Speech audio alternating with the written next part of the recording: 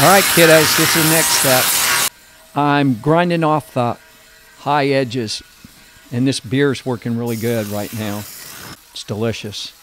So uh, it'll take a while to do this. I'm just really lightly touching the rough edges with this uh, grinder. It's got a 36 inch, 36 grit flapper disc on it. Beer's working good now.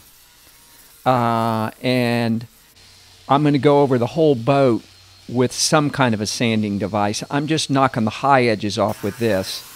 And then I'll take, whoa, we've got a leaf blower getting the dust out, trying to fill the neighborhood up with fiberglass dust, mixing some fairing compound. This is, um, see, this is RJ1201. I usually make up my own putty, but I have a bunch of this. This is really super smooth. It's light, uh, sandable, and it, it works good. Now I think I'm getting ready to do the radiuses. Let's see what comes up. See that tool right there? That's a cooking tool. And it is amazing the number of cooking tools I use to work with. So doing the radiuses right here. And what I'm trying to do is make a smooth transition so that when the boat finishes out, it doesn't look like these edges, these turns are rough. They're, we're trying to make them really smooth. And this tool and this putty works really good in here. Now I'll go around the whole boat doing this before I start doing fairing the floor in the other sides, although it looks like I've done a little bit of fairing on the back already. That might just be sanding, I can't tell yet. Keep on going, trying to clean up as I go.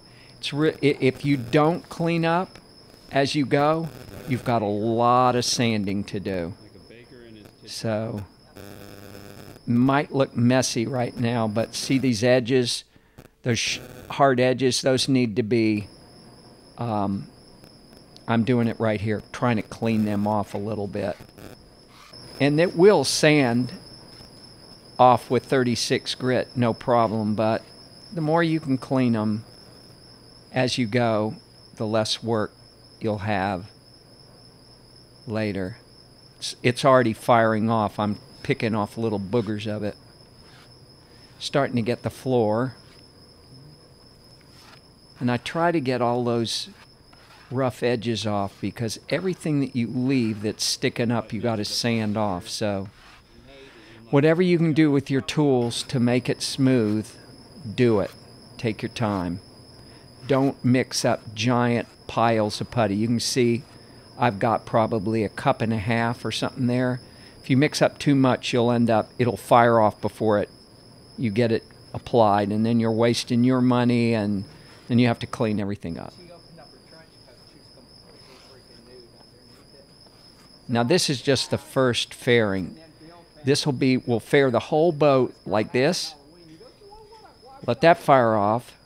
Then I'll sand the whole boat and then I'll do it all over again.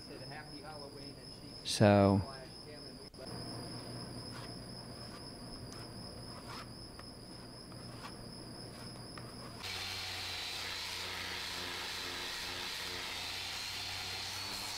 I'm using uh, probably a 36 grit pad on this. Um, yeah, it is because it's blue on this uh, random orbital. And I'm running it pretty fast. I'm somewhere between five and six.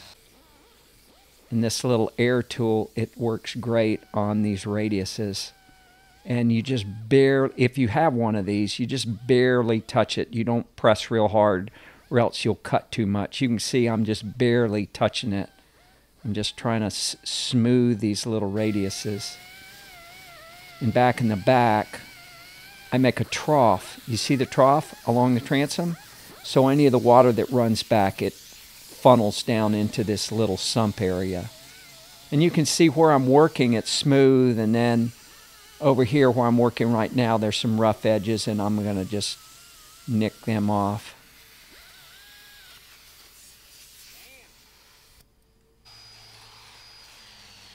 Back to the random orbital. taking that little rough edge off. See it disappear? There you go. Magic's happening.